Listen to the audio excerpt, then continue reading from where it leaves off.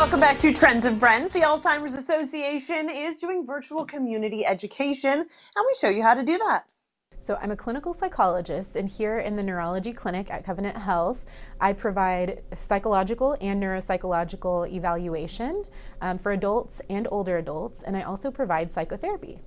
So typically I see patients that come into our neurology clinic, so they may have neurodegenerative disorders such as dementia, they may be having memory difficulties, cognitive concerns, or other health conditions.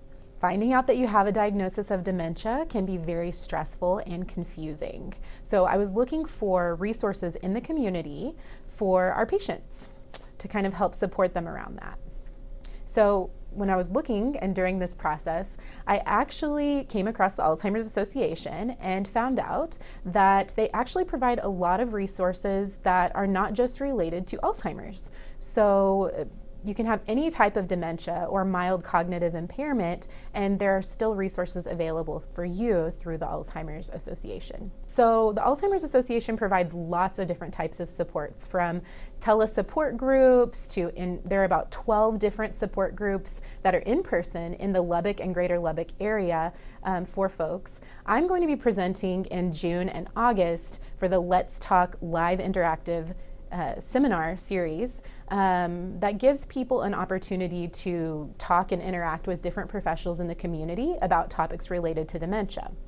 So what I'm going to be doing um, is it's going to be streaming online and you can actually email West Texas, spelled out West and T-E-X-A-S, at alz.org to be emailed a link to participate. Most of the resources available through the Alzheimer's Association are free, and so that's what makes them so great. So this is helpful for people across the spectrum, people everywhere from thinking, oh, I have some memory or cognitive concerns and haven't been given a diagnosis yet, to people that have been diagnosed with some sort of dementia or mild cognitive impairment to family members and support people. I've always wanted to apply the knowledge that I have in a practical way to help support the community. And you know, I really believe in that old saying, knowledge is power.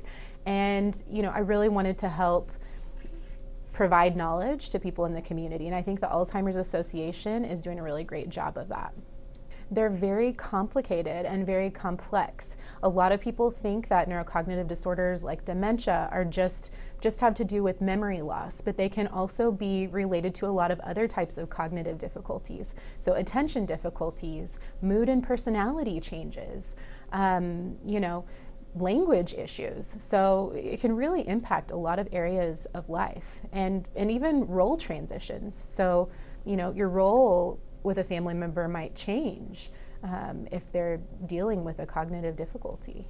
If you're in the community and you want to get involved or learn more about the Alzheimer's Association, you can go to alz.org um, and just click on Get Involved. It's as easy as that. There's everything from you know volunteering to um, to be a volunteer for the upcoming walks that are going on, to being a community educator like myself. And up next, Braum's officially opens up tomorrow and we get a sneak peek. That's right after the break. Stay tuned.